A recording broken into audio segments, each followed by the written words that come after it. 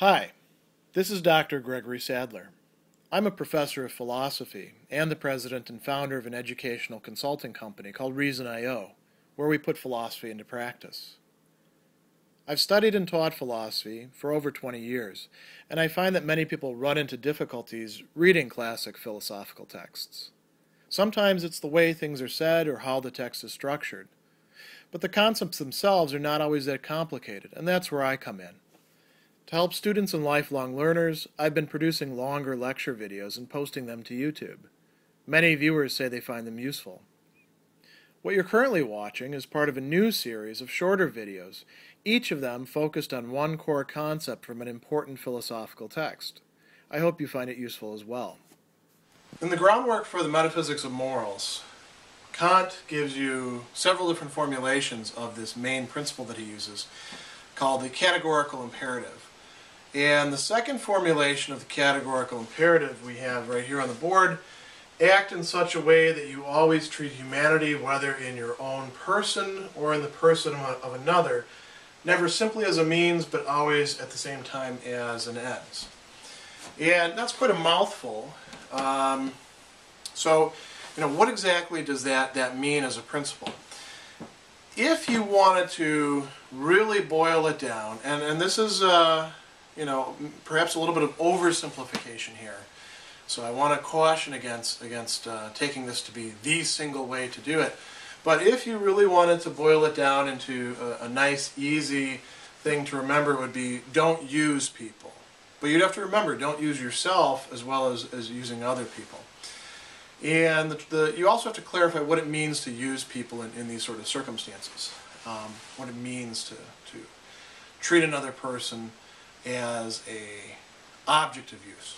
So what we're going to do in this short video is look at the way Kant gets there and then what this actually means and how you would apply it. Um, but we're not going to look at, at specific examples, not the examples that Kant uses or uh, other examples, because I'm going to do that in some other core concept videos uh, dealing with this, this second formulation of the categorical imperative.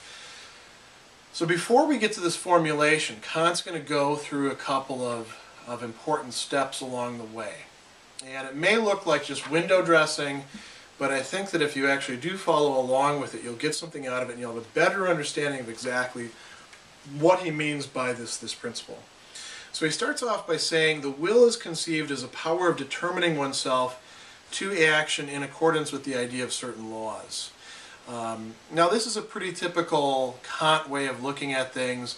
The will is a capacity or power of determining oneself to action.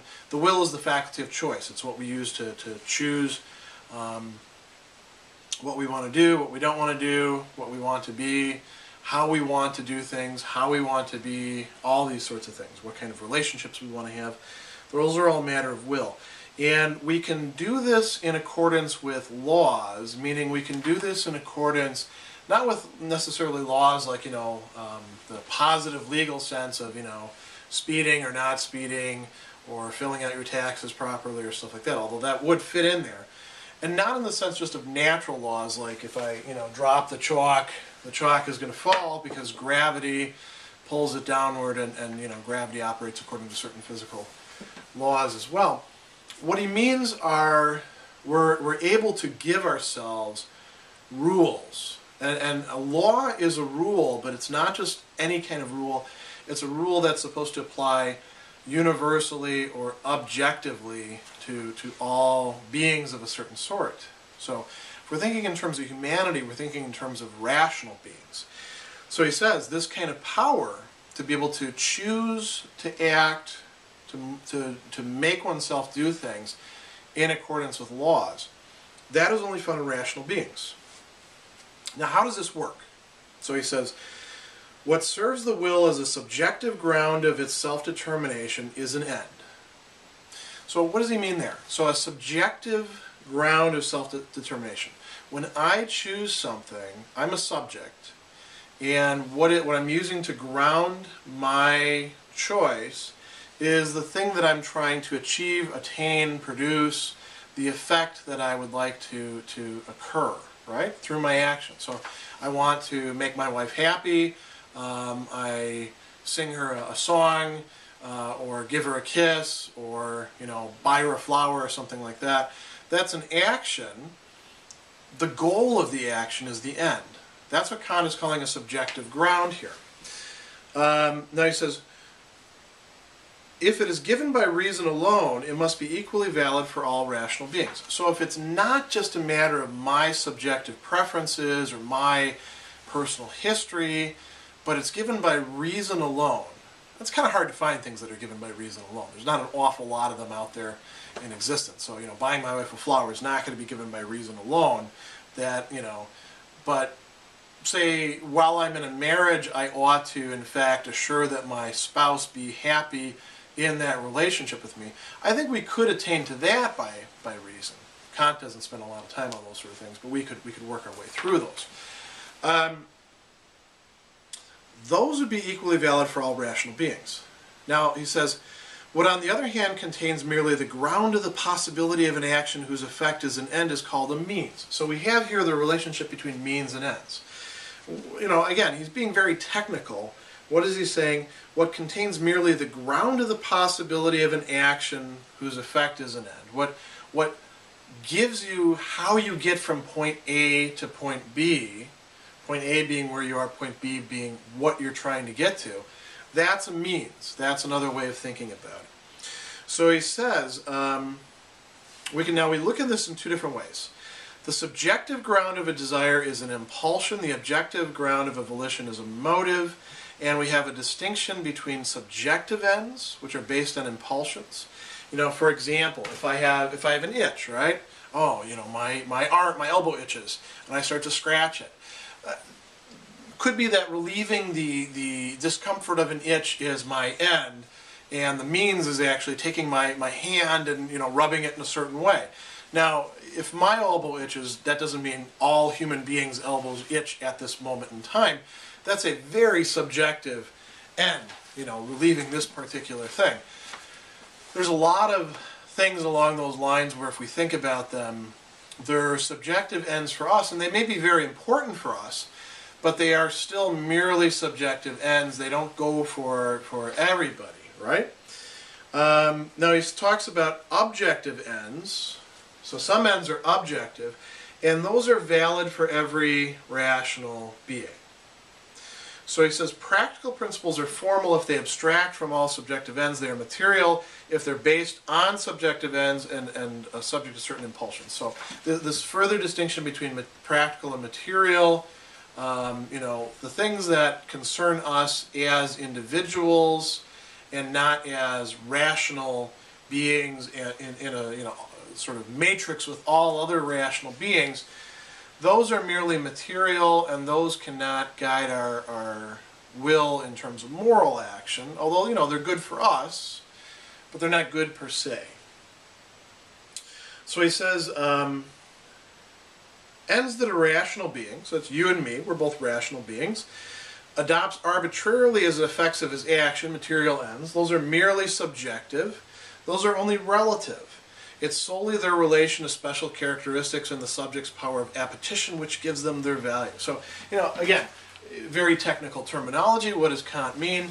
Well, you know, you have those desires or you have those inclinations. I have these inclinations and desires and satisfying those is an end for me, but it's not an end for everybody. So, you know, for instance, I like this this particular tie, and I've been told that it's not really that stylish anymore. Apparently, at one time it was, but I, I like wearing this, so I'm going to wear it, right? It pleases my eye, and it may not please other people. Putting this tie on is satisfying some subjective end of me. That doesn't mean that all people need to wear ties or even all people when they're shooting, you know, lecture videos need to wear ties or anything like that. It's not a it's not an objective thing in that sense. It's very subjective. It's relative. Um, now, Kant goes on from this. He says, suppose there were something whose existence has in itself an absolute value, not a merely relative value let's pause for a second, think about this. What does it mean for something to have a relative value? It will satisfy certain desires or inclinations that I have. So, um, reading Shakespeare, for example, I've got some Shakespeare on the shelf. Reading Shakespeare is a great thing. It's wonderful. I, I personally would, would love to see a world in which everybody could have the opportunity to read and to appreciate and even, you know, maybe even study Shakespeare with somebody who, who really knows what they're doing, which, by the way, is not me when it comes to Shakespeare. Um, but I have to grant that, that volumes of Shakespeare, at least from a Kantian perspective, do not have some sort of absolute value in themselves. They're valuable as a means to certain ends. We can take them as ends. So, you know, the house starts on fire. I would very likely grab that, you know, the two volume set of the collected works of William Shakespeare in, in uh, uh, opposition to some of the other books. Um, maybe there's there's other stuff in, in, in, here that I should grab first volumes of books um, that has greater worth, right? They have greater value as ends, but it's merely limited. Um, now, is there anything that has an absolute value? According to Kant, there is. According to Kant, it's not just a matter of the way some philosophers think of everything just having a relative value for, for one person or for another person. He says there is something that actually has absolute value. So what is that? He says, this is something which as an end in itself could be a ground of determinate laws. That would be the ground of a possible categorical imperative. So what would that be? He says, man, or humanity, and in general every rational being, exists as an end in itself. There's a lot more here, but let's pause over that and repeat that for, for a second. Think about that. Every human being, even the most depraved, even the, the you know most foolish, the most stupid, the most obstinate, every human being, by virtue of being a human being, exists as an end in itself. Something of absolute value. That is a really radical, startling thought. Kant is the only person who's thought that, too, by the way. I mean, plenty of other people thought that before him, but, but Kant is really exploring this in, in a certain way. So he says, this would, um, this is, uh, this has value, human being, has value as an end in itself, not merely as a means for arbitrary use.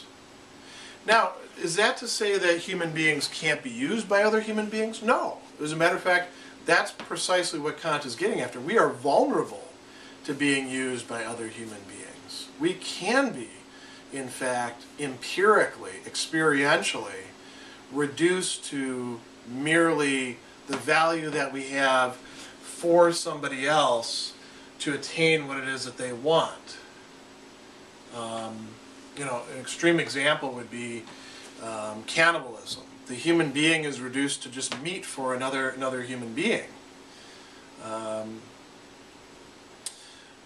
Kant is saying there's something wrong when that occurs.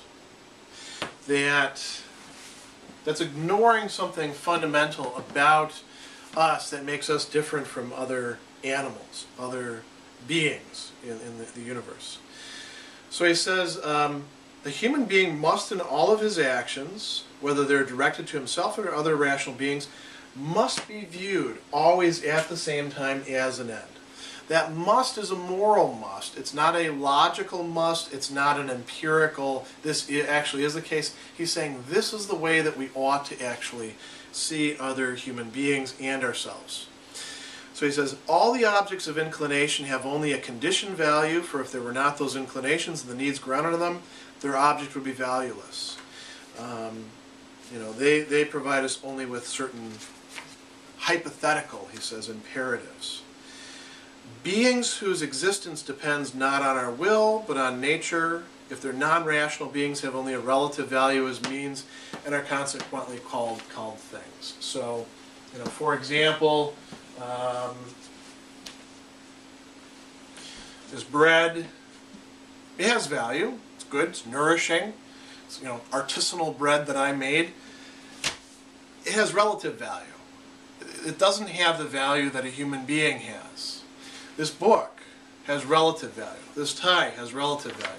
This chalkboard has relative value. We could go on and on and on and on and on if we wanted to. Um, rational beings are called persons, he says, because their nature already marks them out as ends in themselves, as something which ought not to be used merely as a means, and consequently imposes, to that extent, a limit on all arbitrary treatment of them. Again, is he saying that it imposes this in an empirical sense, like, you know, I, I decide, hey, I'm going to use that person over there, and then like something pops up and, you know, says, no, no, you can't do that, you know, some sort of, you know, aura around them or something like that. No, this is not something empirical, this is something rational. If I'm actually thinking straight and I say, I'm going to use that person over there, I'm just going to use them, then something should, should be sort of triggered in my, my mind, maybe even at the level, although Kant wouldn't be too, too happy with this, just at the level of, you know, uh, feeling saying, eh, uh, that's not what you ought to be doing. That's, that's wrong. Uh, that would be a different kind of um, imposition of a limit, right? So he says, if there is to be a supreme practical principle, a categorical imperative, it must be such that from the idea of something which is necessarily an end for everyone because it is an end in itself, it forms an objective principle of the will. It's something that motivates us, tells us not only as individuals but as rational beings among all other rational beings. That's what it means for it to be objective. Uh, it forms an objective principle as a will and consequently can serve as a practical law. What is the ground of this principle, he says? Rational nature exists as an end in itself. Rational nature exists as an end, not for other things, not as a an end that also happens to be a means for something else, but as an end in itself, the, the final, uh, the final thing. All right, I can I can make something like this. An end for me, I can say I'm gonna go. I'm gonna go. You know, knock that person down so I can have this bit of bread. Uh, and why am I going to have that bit of bread? Well, that, that bread can then, as an end of one action, can become the means for another, so I can satisfy my hunger, or, you know, if I'm kind of, you know, weird, so I can satisfy my perverse desire for artisanal bread. Um, and then I can ask myself further, well, why in the hell do you need to do that? Well, you know, with the hunger thing, it's pretty obvious. So you can keep the body alive. Satisfying hunger then becomes a means, what? For another end. Uh, and we can go on and on and on with means becoming further, uh, ends becoming further means, until we have to get to a point where we say, well, this is the, this is the ultimate reason. This is what's really valuable. For Kant, that's humanity. That's, I should put this, rational nature. That's what has value, that's what's at the end of the entire chain of ends. That's what's at, at the, the limit of that. So this categorical imperative, this formulation, is going to tell us how to do that. Um, let's look now at the actual categorical imperative. It says, act in such a way that you always treat humanity, whether in your own person or in the person of another, Never simply as a means, but always at the same time as an ends. So, let's break this down now. There's four, you may not see it yet, but there's four main things that you got to pay close attention to with this formulation. So, uh, one is act in such a way you always treat humanity, whether in your own person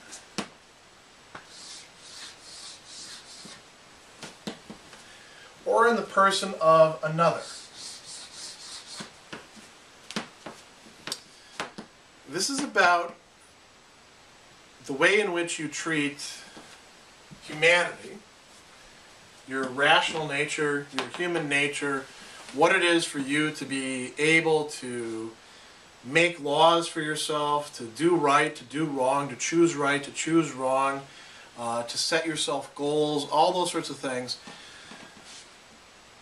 This is how you treat that in your own person or in another. So it, it's not just about how you treat other people. A lot of times people want to think that ethics is, is really just about how you treat other people and you don't have to worry about how you treat yourself so there you know so long as you're not hurting other people anything you want to do is okay kant would say there are some things that when you're doing them you are doing something wrong to yourself even if you don't hurt anybody else you know i think kant would for example say taking illegal drugs um, you know, the fact that they're illegal, you're actually breaking a law and that's doing something wrong in, in one sense. But if you're taking drugs that are, that are you know, doing something to, to uh, make you, well, to put you in a state where you're not yourself, where you're reducing your own rational capacities, uh, where over the long term you're degrading your, your own talents and abilities, um, maybe even your own organic structure if it does brain damage. If you're doing that sort of thing, Kant would say, even if you're not hurting anybody else, you are actually doing something wrong to yourself.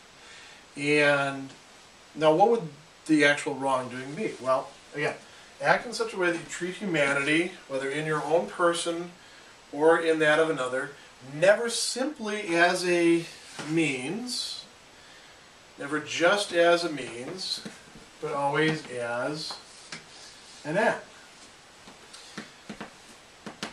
So you shouldn't just treat other people as a means. You also shouldn't treat yourself as a means, or at least the humanity within yourself, as a mere means. You should always treat the other person as an end, as having value, as having what we call human dignity. Um, you should also treat yourself that way. That's what this categorical imperative is saying. Now, I want to stress something that often gets overlooked in this. This is very, very important. Notice how this is framed never simply as a means. So, okay, so that's saying a means just by itself is off limit, but always at the same time as an end. Now ask yourself this, are those mutually exclusive? Is it the case that you're always either treating somebody purely as a means or purely as an end, and never possibly as, as both? Let me give you an example where you are actually treating a person as both a means and as an ends. I use this when I teach my, my classroom uh, students, which makes sense. Doesn't make quite as much sense with the, the video. Um, when I'm teaching in the classroom, I'm getting paid to teach those students, right? So I'm, in, I'm imparting knowledge or, you know, cultivating learning or however you want to frame it. I am treating them to a certain degree as a means, a means towards my income, my sustenance, my survival, whatever you like. Uh, I might be treating them as means in other ways too. You know, if I'm the kind of professor who gets off on being the sage on the stage, I'm, I'm treating them as a means for, for the end of my getting to feel like a big, you know, big professor or something like that. If I am treating my students kind of uh, meanly because I enjoy being a sadist and hurting people, I'm using them as a means as well, right? But let's just stick with income. Now, if I'm just making a buck off of them and I'm not actually giving them anything in return, I'm clearly treating them just as a means. What if, for their money, I give everybody an A, and I also do kind of a song and dance and entertaining, you know. I shoot, show a lot of uh, non-class related videos and, you know, get into a lot of discussion. Well, what do you think about all this? You know, just kind of make you feel good kind of stuff. Um, I'm giving them something in return, right? They're sort of getting something for their money. I'm still just treating them as a means, because why am I giving them all this, this, this, you know, entertaining crap, this, you know, uh, saccharine, you know, unnourishing uh, mental food, uh, so I can get something out of it, like peace of mind. They, they don't report me to the dean or, or anything like that. What am I supposed to be giving them?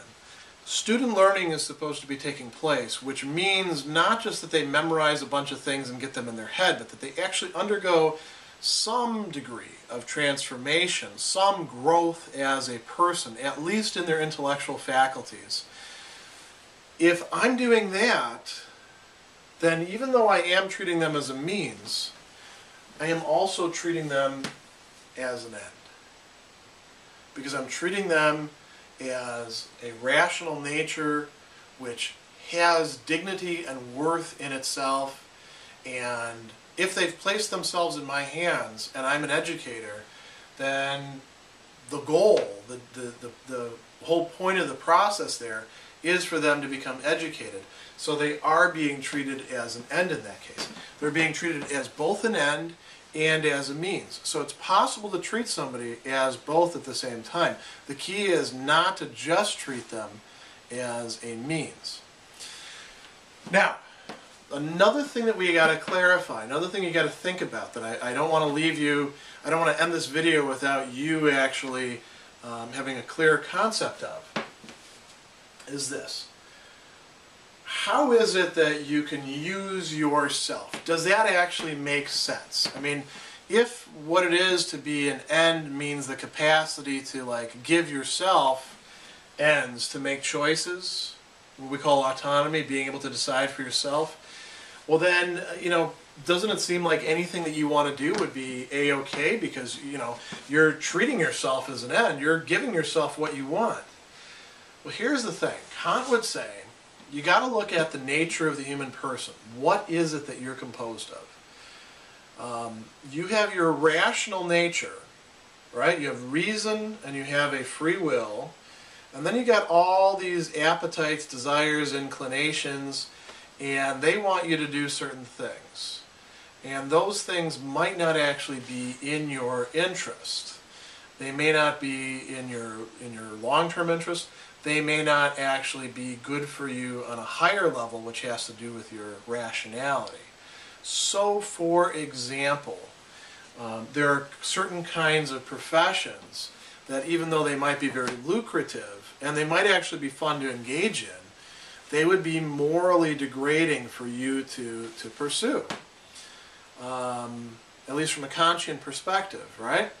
And if you, in fact, follow that sort of course, you would be treating humanity in your person as a means to the end of making money and having a good time. You would be treating the better part of yourself as a mere means to an end to satisfying the less good parts of yourself, the less worthwhile parts of yourself. So there are ways in which you can, in fact, treat yourself, treat a part of yourself as a means to the end for another part of yourself. And Kant would say, if that part of yourself that you're making the end is merely these subjective preferences and desires, and not something like, you know, I'm going to cultivate myself so I can actually be a good person and I can do what I'm supposed to do and I can know what my duty is and do it. If you're doing that, you're treating yourself as a means to an end. Um, there's other ways in which you could, by the way in which you connect yourself up in relationships with other people, treat yourself as a mere means to an end as well. For instance, um, to be a flatterer, to be a toady, you know, is to try to get something out of somebody else. Um, to be a kiss, you know, a, a kiss butter, right? Uh, a yes man or yes woman or something like that. Kant would say that's that's actually morally degrading. And it seems like you're also treating the other person as a mere means to an end too, right? So there's a problem with that. But you are lowering yourself to treat yourself as a means to that other person's ends. Because, you know, why do people like flatterers around? Because they make them feel good. And you're also treating yourself as a, a, means to the end of whatever it is that you want to get out of flattering that person. Being invited to the great parties or, you know, making some, some money, having money tossed at you or getting prestige or something like that. Those are lesser values. Those are not the sort of thing that Kant thinks a rational being should place high up. And so you would be treating yourself, again, as a, means to an end. So to bring this to a close, what have we got here? We've got a formulation of the categorical imperative that basically says don't use people, but now we've specified the way in which we're talking about this. When we talk about don't use people, we don't just mean don't use other people, don't use yourself. And by use, we mean you know to treat just as a means, not treating as an end, not as something that actually has dignity, the capacity to choose, to set goals for, for oneself, to set ends for oneself.